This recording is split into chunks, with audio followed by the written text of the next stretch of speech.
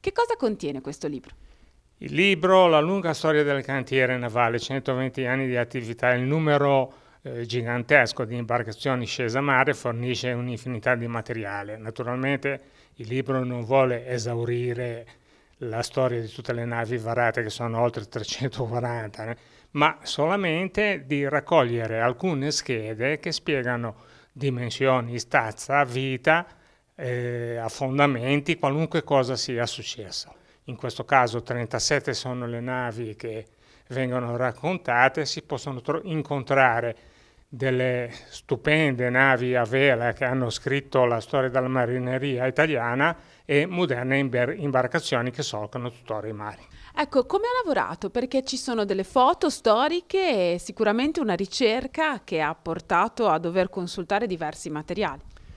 Ovviamente la tipologia della pubblicazione non lascia molto spazio alla fantasia dell'autore. La ricerca e eh, compiuta a mo' di contenitore, incrociando tutta una serie di informazioni che sono tratte dalla rete, ma non solo, ecco, sono tratte da archivi privati, da scambi tra appassionati, da riviste, da tutto quello che i media offrono.